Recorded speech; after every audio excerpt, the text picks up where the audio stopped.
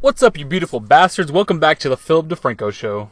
I've waited years to do that, and I honestly have no idea why. Anyways, we haven't uploaded in a couple days. If you guys remember, last weekend, the weekend before this, we went to a bachelor party, got extremely drunk, etc., etc. Well, this past weekend was the actual wedding itself, which is why I didn't really upload anything over the weekend. But we are here today, back on the grind, as the kids say, to talk about something regarding Final Fantasy VII Remake, but it's not our typical you know, discussion videos or like news related videos, updates for the game. It's kind of a weird story about how the Japanese voice actor for Tifa Lockhart actually got threatened by somebody.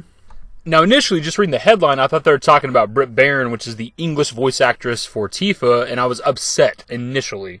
I'm willing to die for her. But it does turn out that the Japanese voice actress for Tifa, Ayumi Ito, I think is how you say her name, is actually attractive as well. So I just want to put it out there, I'm willing to die for either of these women.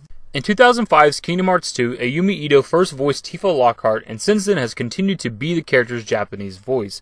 Naturally, she will be returning for next year's Final Fantasy VII Remake, but sadly, she has recently received threats of violence. The Sankei News reports that earlier this summer, a woman in her 20s allegedly sent threats to Ito's talent agency website, writing, I hate her, Ito, so much I want to kill her, and I'm going to stab her in the back of her hand with all my might. This threat was reportedly regarding Ito's participation in a preview showing for a live action drama. Besides Tifa, Ito acts in feature films and TV shows. Look, like obviously I'm not laughing at her being threatened, but the threat itself was kind of funny. Like I don't understand stabbing somebody in the back of the hand. It's a very oddly specific way to threaten somebody.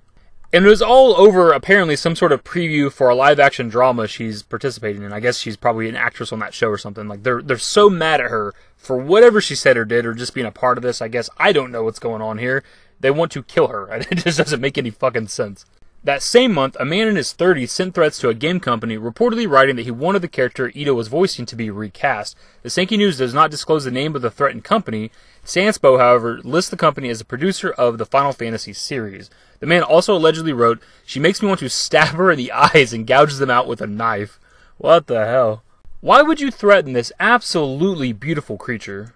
So apparently he sent this threat to a game company that is presumed to be the producers for the Final Fantasy series. Um, that's Square Enix, right? I mean, unless I'm mistaken there. So in that case, unless she's worked for some other games in the Final Fantasy series or some other Square Enix type of games or whatever, it's got to be over Final Fantasy VII Remake, right?